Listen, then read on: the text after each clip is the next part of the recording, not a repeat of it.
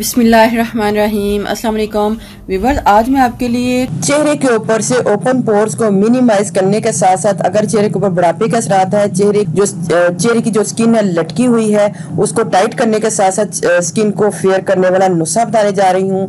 ये बहुत ज़बरदस्त नुस्खा है। आप इसको बना के जब एक बार यूज़ करेंगे तो आपको इसके उसी का रिज़ल्ट मिल जाए आपने एक लेना है साफ़ बाउल और उसमें ऐड करनी है सबसे पहले मुल्तानी मिट्टी। वन टी स्पून और इतनी एलोवेरा जेल ऐड करनी है जिससे ये हमारी बहुत ज़बरदस्ती एक पेस्ट बने।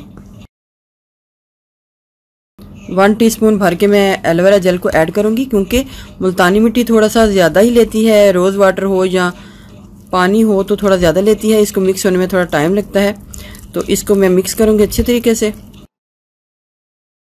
अच्छा जी, अब आपने इसके अंदर या तो डालनी है कॉफ़ी और या फिर आपने डालना है कोको पाउडर इधर मैं कोको पाउडर ले रही हूँ। आप इन दोनों चीज़ों में से कोई भी चीज़ डाल सकते हैं।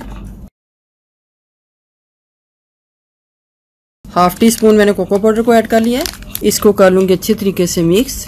अच्छा जी, जिनकी स्किन बहुत ज़्यादा ड्राई है तो आप इसके अंदर आलमंड ऑयल या फिर कोकोनट ऑयल को भी थोड़ा सा डाल सकते हैं ग्लिसरीन को भी ऐड कर सकते हैं। ये चीज़ें आपने अपनी स्किन के हिसाब से डालनी है। अगर आपकी स्किन बहुत ज़्यादा ऑयली है तो आप इसको इस तरह सिंपल ही रखेंगे। लेकिन अगर ड्राई है तो ऑयली ऑयल या फिर ग्लिसरीन को भी ऐड कर सकते हैं।